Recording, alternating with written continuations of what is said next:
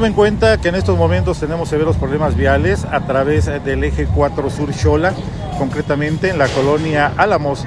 Y es que tenemos un grupo de manifestantes, ellos son trabajadores del gobierno de la Ciudad de México y bloquean ambos sentidos de esta importante arteria, lo que ha ocasionado severos contratiempos a la circulación, sobre todo para la gente que utiliza el servicio del Metrobús. Está suspendido, la gente tiene que bajar de las unidades y caminar varios metros para poder abordar otra unidad y poder continuar hacia su destino. Así que la circulación se encuentra completamente afectada para quienes pretenden o pretendían continuar hacia la calzada de Tlalpan a través de esta importante arteria. Una posible alternativa es utilizar el viaducto Miguel Alemán, aunque esta arteria ya presenta severos problemas viales. Reporte Índigo, Juan Manuel Padilla.